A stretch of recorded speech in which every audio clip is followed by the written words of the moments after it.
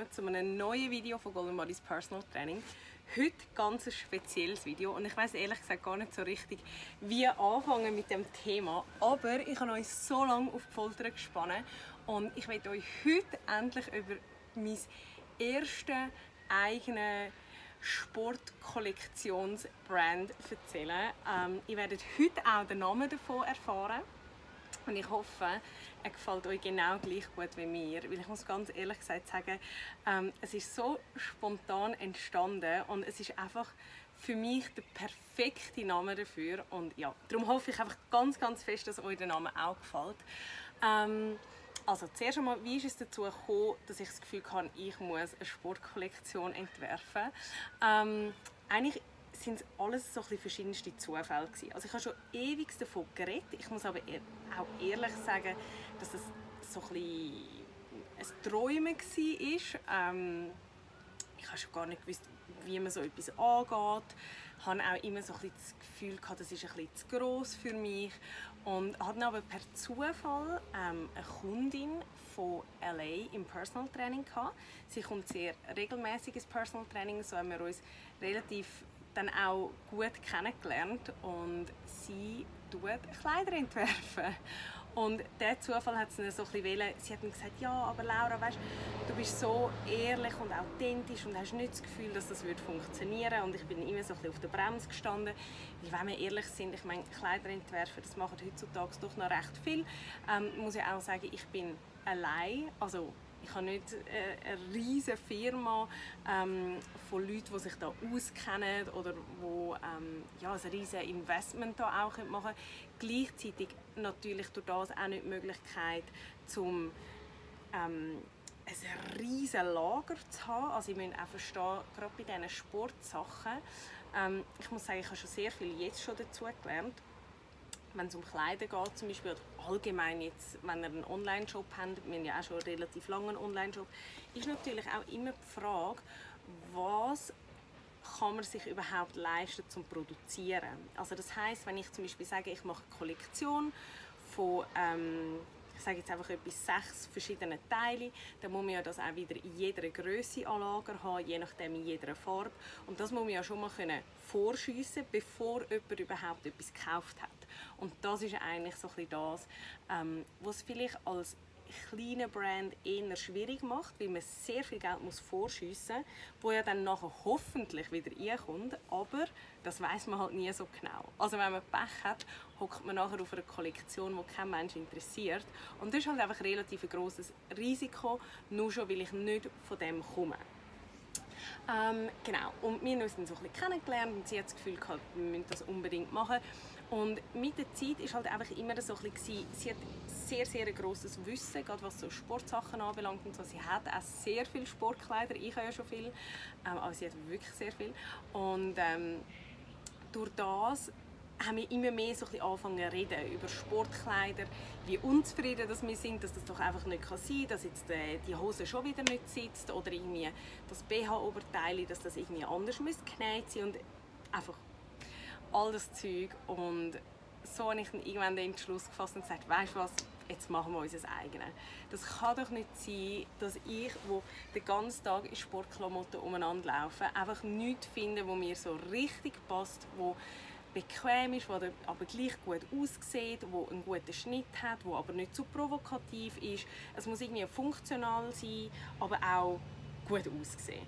Und das ist eigentlich das, was ich erreichen mit meiner Marke. Ähm, ich will, dass ihr das überall anlegen könnt. Also im Sinne von, es soll so aussehen oder genug gut aussehen, dass ihr auch noch nach dem Training Stein laden könnt, aber ihr könnt auch mit dem am ich sage jetzt einfach etwas, am Sonntagnachmittag brunchen, ihr könnt aber auch Sport natürlich machen damit. Ähm, wir müssen mal schauen, jetzt halt einfach rein, äh, wir haben die ersten Teile noch nicht, also das, die werden erst kommen, es ist jetzt so weit, dass wir ähm, einmal die ganzen Designs haben, die ganzen Farben, die ganzen Stoffauswahlen und jetzt wird eigentlich so weit einmal etwas produziert, uns dann geschickt und dann ähm, ist ein Fitting und einfach alles so ein bisschen, ja, der Tragekomfort wird getestet ähm, mit Workouts etc. Und darum, ich kann jetzt noch nicht sagen, wie es sitzt, aber ich würde wählen, dass es auch zum Joggen geht ist natürlich eher schwierig, aber das wäre eigentlich mal so ein das Endziel, weil ähm, ich finde, Kleider zum Joggen sind echt schwierig zu machen und ich hoffe einfach, dass wir das irgendwie anbringen. Ähm, ich habe mich für sehr spezielle ähm, auch Materialien entschieden, also es wird nicht einfach etwas 0815 sein. Da kommen wir gerade so ein bisschen zum nächsten Thema. Ähm, es gibt teils Sachen, wo ich das Gefühl hatte, das müsste eigentlich echt machbar sein, aber es ist nicht machbar. Eines der grössten Sachen, die es schwierig macht, ist, weil es Sportmaterialien sind. Also sie müssen, ähm, wie sagt man dem, äh, atmungsaktiv sein. Zugleich natürlich auch dehnbar und es hat einfach so viele Kriterien, die erfüllt sein wenn man eine Sportkollektion entwirft. Und darum hat es jetzt einfach ein paar Sachen gegeben, wo ich gedacht habe, das sollte gehen, was es halt leider noch nicht geht. Ähm, dazu muss ich sagen, ich habe ja unendlich viele Feedbacks von euch bekommen. Ich habe auf Instagram bereits schon gefragt, ähm, was so eure Wünsche sind, was wir berücksichtigen sollen. Ich muss sagen, gerade auch bei der Farbauswahl, ich habe so Freude. Ich habe so ein gutes Gefühl. Ich habe das Gefühl, ich habe wirklich eine Farbauswahl getroffen, die nicht so normal ist, aber wo man eben gleich auch normal kombinieren kann. Ich bin wirklich ich bin selber ein bisschen ähm, verblüfft auf dem Ganzen. Ähm, ja, die erste Idee war natürlich schon einfach mal schwarz. Dann haben wir sagen, komm, schwarz kann jeder. Das können wir immer noch machen, wenn wir jetzt merken, dass die Kollektion gut ankommt, dann vielleicht bei einem zweiten Schub, ähm, dass man dort noch eine schwarze Kollektion drin nimmt. Aber jetzt zum Starten müssen wir mal etwas Spezielles haben und ich glaube, das ist uns absolut gelungen. Ähm, ich muss sagen, ich mache das Design ganz allein. Also die ganzen eben wie wird es entworfen, mit welchen Farben. Also die Janik hat es bisschen angeschaut, aber ähm, ja, sonst kommt eigentlich alles von mir. Ich muss auch ehrlich gesagt sagen, ich habe mich nicht inspirieren lassen, ähm, weil ich finde es mega schwierig. Ich bin, jemand, ich bin zwar kreativ, aber ich kann es nicht so richtig umsetzen. Und das Problem ist, sobald ich etwas nehme als Vorlage, dann fange ich irgendwie wie an, eher das zu kopieren, als mein eigenes daraus zu machen. Und darum habe ich gesagt, ich will keine Vorlagen verwenden und du mich wirklich nur auf meine eigene Kreativität stützen. Und ja, ich glaube, wie soll ich sagen? Es ist eben nicht so ausgefallen, dass man sagen könnte, das sieht man nie. Das ist es nicht, das muss man wirklich sagen. Aber es ist einfach so, wie es mein Kopf halt rausgesprudelt hat. Und äh, jetzt kommen wir noch schnell zum Namen. Komm bevor wir da ähm, um den heißen Brei reden. Ah nein, zuerst möchte ich noch schnell sagen, etwas ist mir mega, mega wichtig, weil etwas, was ihr gesagt habt, sind BHs für grosse Brüste. Und ich sage euch jetzt einfach etwas, das ist nicht so einfach, wie man denkt. Weil das war mein grosses Ziel gewesen, und wir werden sicher auch für äh, grosse Oberweite BHs haben, aber es gibt dann halt so eine gewisse Größe, das sieht aus, ich kann euch das gar nicht beschreiben. Also ich habe Muster gehabt, und dürfen anschauen und einfach müssen sagen, das ist nicht das, wenn ich es mir vorstelle. Weil es sieht aus, oder so stelle ich es mir vor, wie nach einer Brustoperation, wo überall Nähte sind am BH, mit Reissverschluss, mit Verstärkungen und das sieht wirklich aus wie so eine, wie eine Zwangsweste. Und ja, ich glaube einfach, who knows, vielleicht wird das mal ganz erfolgreich und wir haben das Budget, wo man so etwas kann entwerfen kann, ähm, wo viele Frauen darum froh sind. Aber momentan ist es jetzt einfach gleich noch nicht so auf der Prioritätenliste, dass ich müsste sagen, ja, das lohnt sich mega.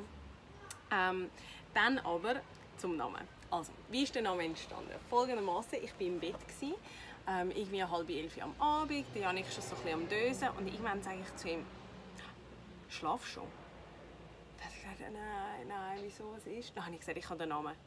Ich habe den Namen. Nein, so, was für ein Name? Ich habe den Namen für die Kleiderkollektion. Also folgendermaßen. Ähm, ich sage euch. Und bitte schreibt mir in die Kommentare, wenn ihr ihn findet. Also, er heißt Hi Malaya.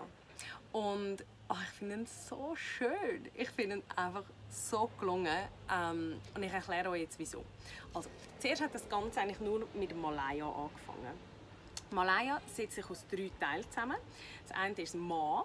Das steht für Marlies, weil viele von euch werden das nicht wissen, aber meine verstorbene Mami heißt Marlies. Dann La ist ja relativ selbsterklärend, steht für Laura.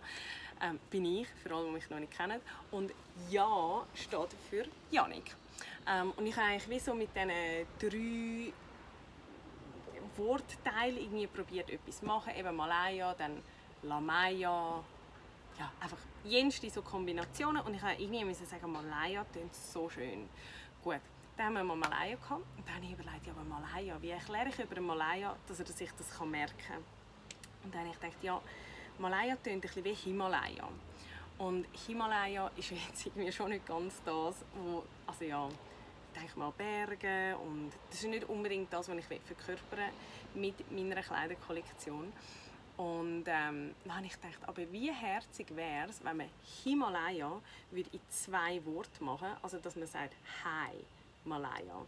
Und so ist es eigentlich zustande gekommen, ähm, aus einer Eselsbrücke schlussendlich.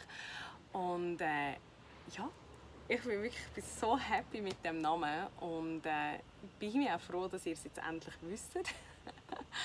und ich bin so gespannt darauf, was ihr von den Kleidern dann werdet halten. Ich denke, es wird circa Oktober, November, ohne mich jetzt da zu weit aus dem Fenster rauszulehnen. Aber ähm, ja, ich denke, das ist das, was wir uns darauf vorbereiten können, dass dann bei uns in der Schweiz werden sein. Werde euch sicher ein bisschen mitnehmen auf dem Weg dorthin.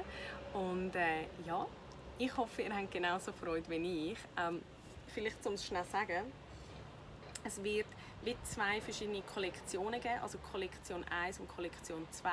Und da von diesen Kollektionen passt eigentlich alles zusammen. Man kann aber auch kollektionsübergreifend kombinieren. Ähm, weil die Farben sind alle ein bisschen die gleichen. Also ihr werdet es dann sehen. Und jedenfalls gibt es ähm, Dreiviertel-Leggings, lange Leggings, kurze Shorts eng und kurze Shorts äh, Look. Es gibt zwei verschiedene BHs, wunderschön. Es gibt Minimum ein Top, müssen wir noch schauen, vielleicht zwei. Und ein Langarm-Shirt. Und ich muss ganz ehrlich gesagt sagen, ähm, ich habe denen von der 8-Week-Challenge per Zufall, wirklich das war eher ein Zufall, gewesen, ähm, die Kollektion schon mal so ein bisschen gezeigt, so ein Sneak Peek. Und äh, alle sind begeistert von dem Langarm-Shirt. Und ich muss auch sagen, für mich, ich weiß jetzt schon, das wird mein Liebling von der Kollektion sein. Und darum, ja, sind gespannt.